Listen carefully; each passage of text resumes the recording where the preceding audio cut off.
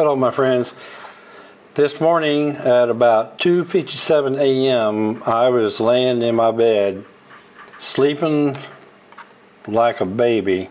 I was probably curled up in the fetal position, had my thumb in my mouth. Don't tell them what kind of dream I was having. And all of a sudden, I felt a shaking, like somebody was actually rattling my, grabbing my headboard and shaking my bed. And then all of a sudden, there was the loudest boom, followed by some more shaking. And this was an earthquake. We had an earthquake at 2:57 a.m. One app that I use reported it as a 5.0, and the other one said 4.9. Uh, when I come back, and we're going to talk about earthquakes here. Hey. Roger. Oh, Rocket Chick. Roger. Hello there.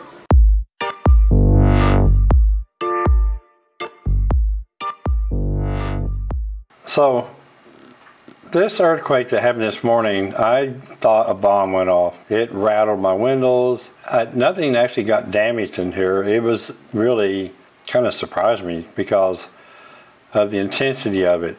And I mean, of course, it woke me up and it really it rattled me right on the spot because I thought, oh Lord, I mean, another one. We had an earthquake last week that I talked about just briefly. This one that happened this morning was not that far away. It's like 11 miles away. It was only like nine or so miles deep.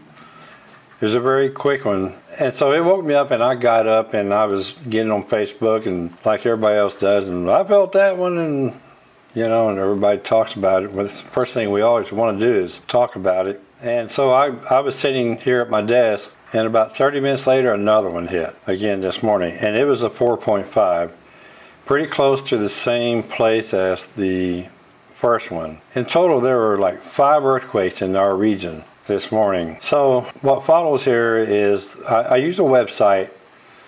Uh, um, well, here it is. So, here's a website that I look at occasionally volcanodiscovery.com.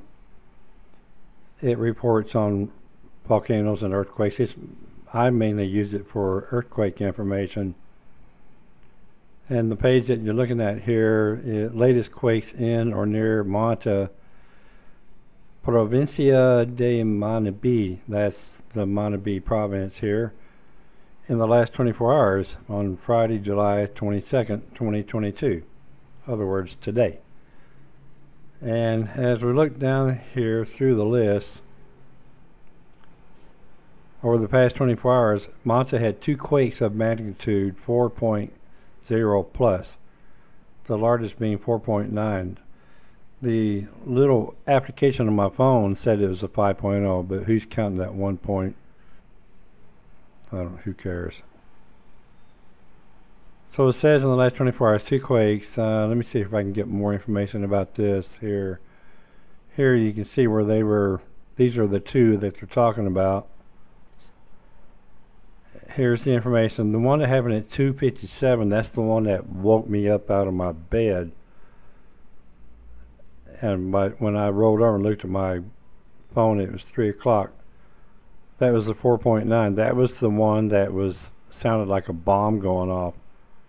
There was just a little bit of rattling, and then boom. so that one was 13 kilometers northeast of Puerto Viejo here in Manabí. Then at 3:39, 41 minutes later, there was the 4.5. Now this earthquake, a lot of people said was a lot more gentle, and it was. I mean, it, it lasted a little bit longer than the 4.9 at 3 o'clock or 2:57. And but it was just a gentle rocking back and forth, and you could hear it uh, that one was at 10 kilometers northeast of uh, Puerto Viejo. The app on my phone said that this one here, the one that happened here, uh, epicenter was in um, Crucita. So I guess it depends on where you look for information. But you can see, like here, Significant 5.0 quake hits near Puerto Viejo, Canton, Puerto Viejo, Provincia de Manabí, Ecuador, and you can see from the map here That's it's like 11 miles from Manta. Uh, oh no, wait a second. No, no, that's not. This is yeah, that was that was the one this morning. So you can see here, here was Manta right here. It is very close. but it was a real quick. I mean, the whole thing lasted three or four seconds, if that long. It was just uh, some light shaking and then the boom. Says here an earthquake of magnitude 5.0 occurred early morning Friday, July 22nd at 2:57 a.m. local time near Puerto Viejo. Let me see if there's anything really significant to read here. I didn't. Nothing that. Well, who cares? So here's the here they're saying here magnitude 4.9. The depth was 41.2 kilometers. Shaking intensity, light shaking. I agree with that. Nearby towns and cities. There's of course there's Mantas right here, as you can see right here. Oh, they felt it in Guayaquil as well. So anyway, I'll put a link to this site in the description via or volcanodiscovery.com. I find that this information here is pretty accurate.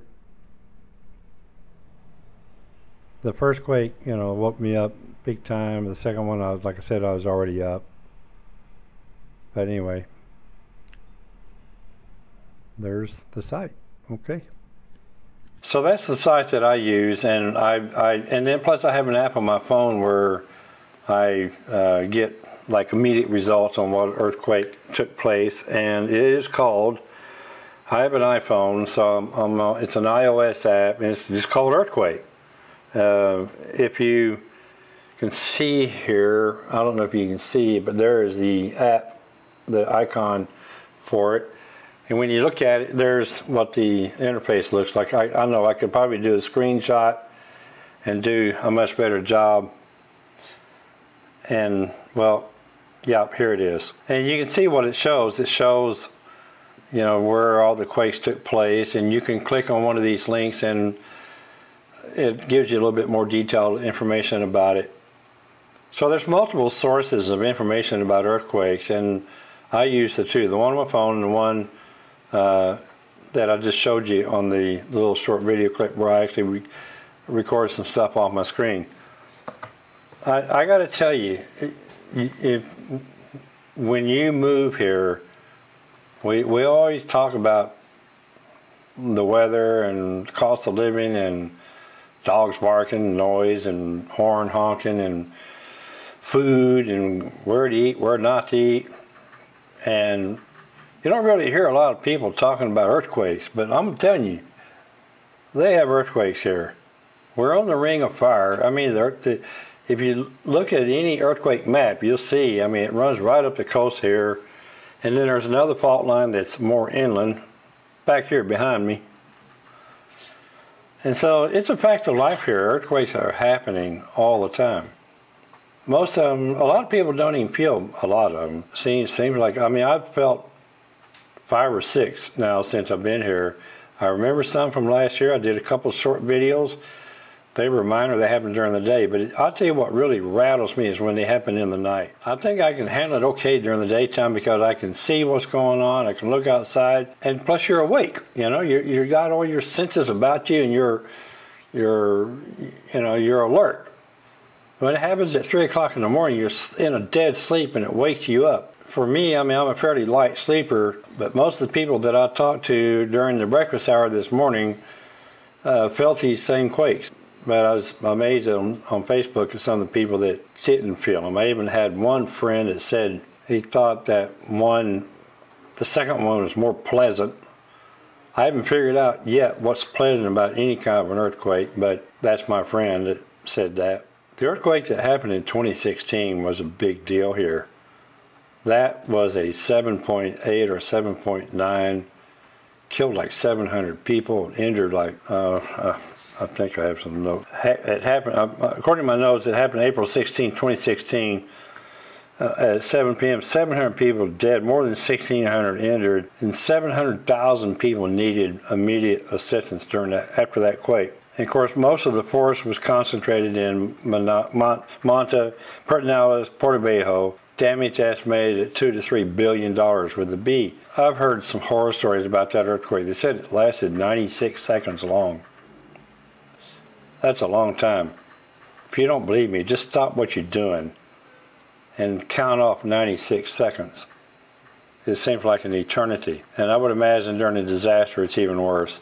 We've had these little shakers here since I've been here that have been minor. The, the biggest one that I personally have felt was the 7.1 that happened in Peru, and that was uh, last year. That happened right before sunup. It was like right before 6 a.m. and it was a pretty good shaker. But that was 360 something miles away, and it was 65 miles deep. We can have these kind of small magnitude earthquakes here, but if they're close by and they're not very deep, it could be that big one as far as we're concerned. So it's a fact of life. It's a fact of life, folks. And when you come to Ecuador, you got to expect to experience some earthquakes. I'm not. I'd be lying to you if I told you it didn't bother. me. I, I don't know how much more of these I can take. I don't want to run away from here because of earthquakes. I can think of a lot of other things I'd rather run away from, but I can't think of anything that creates more of a helpless feeling than being in an earthquake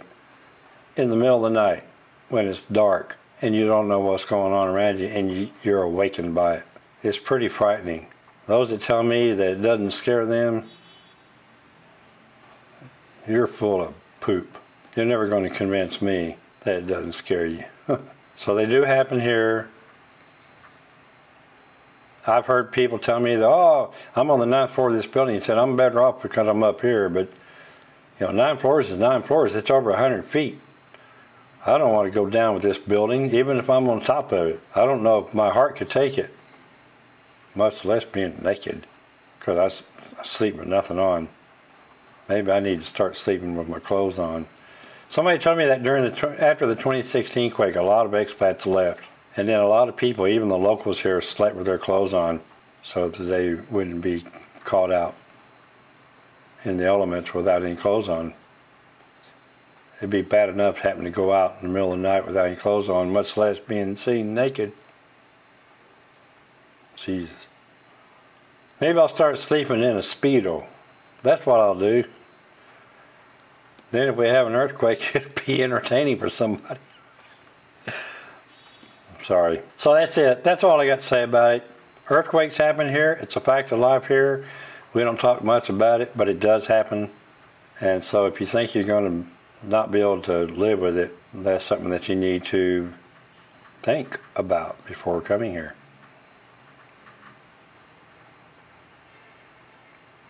They scare me.